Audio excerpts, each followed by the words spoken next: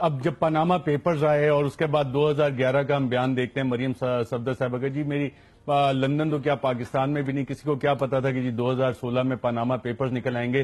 تو جس وقت نائک مووی بنائے گی، کسی کو نہیں پتا تھا کہ شاید بھارت میں یا پاکستان میں کوئی اس طرح کے ڈائلوگز تقریباً ملتے جلتے بولے جائیں گے۔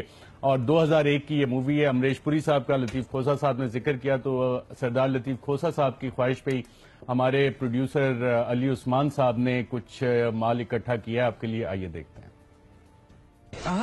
سر مت جھکائیے۔ یہ آپ کے لیے نہیں ہے آمبیڈکر کی مورتی کے لیے۔ کیسے چیف سیکرٹری ہو تم؟ پہلے بتانا تھا نا۔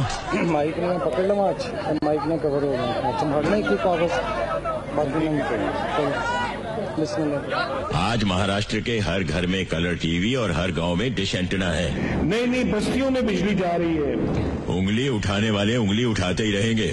جو تنقید کرتے ہیں ان کا کام صرف تنقید کرنا ان کو غالباً کچھ اور کرنا نہیں آتا۔ لوگوں کا سٹینڈرڈ آف لیونگ اتنا اونچا ہو گیا ہے۔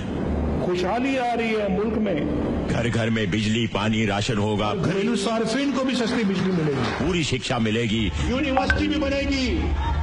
کالج میڈیکل کالج بھی انشاءاللہ پورنیا میں بنے گا۔ مہنگائی جائے گی۔ یہ مہنگائی کی کمر ہم توڑیں گے۔ انڈسٹری کے معاملے میں مہاراشٹر نمبر ون ہے۔ انڈسٹریل سیکٹر میں ترقی ہو رہی ہے۔ اللہ تعالیٰ کا فضل و کرم ہے۔ خوشحالی آئے گی۔ ہم ان کو ایک بات خوشحال مستقبل دیں گے۔ اب صرف 35.8 پرسنٹ لوگ غریبی کی ریکھا کے نیچے ہیں۔ پاورٹی کے نمبرز آپ کو ویسے تو مل چکے ہم نے ایک ایونٹ کیا تھا 9.31 پرسنٹ ہے پاورٹی لائن ہمارا پریوار بہت غریب تھا۔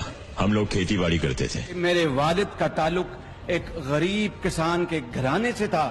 تمہیں جاننا ہے میری پراپرٹی کے بارے میں۔ تو جاؤ کورٹ میں کیس کرو۔ وہاں اگر بتاؤں گا کہ میرے پاس کیا ہے۔ ہمیں کہتے ہو کہ جناب اپنے اثاثے ڈکلیئر کرو۔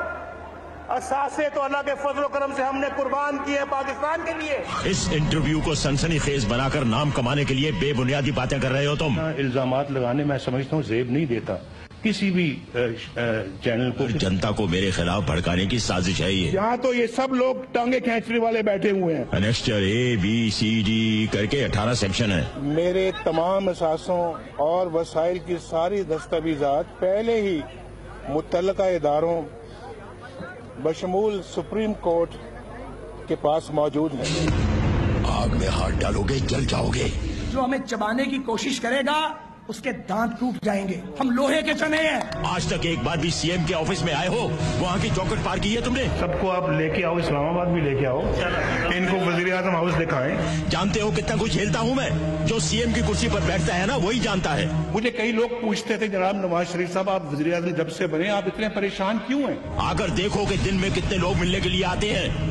روتے ہیں سوال پوچھتے ہیں دھنیہ واد کرتے ہیں پیر چھوتے ہیں مالائیں پہناتے ہیں گالیاں دیتے ہیں۔ آپ کیوں نہیں ہنستے کھیلتے مسکراتے؟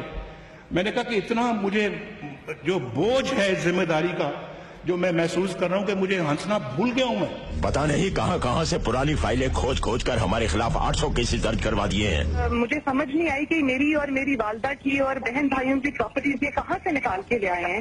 بیٹا تیس سال کا تجربہ ہے ہمارا راجنیتی کا۔ سات بھائیوں نے محنت مزدوروں کی طرح تیس کی دہائی سے سفر شروع کیا اور کیس فائل کرو تحقیقات کرو انکوائری کمیشن بٹھاؤ۔ آج میں نے ایک اعلیٰ سطح عدالتی کمیشن قائم کرنے کا فیصلہ کیا ہے۔ اگر ثابت ہو جائے تو مجھے پھانسی پر لٹکا دو۔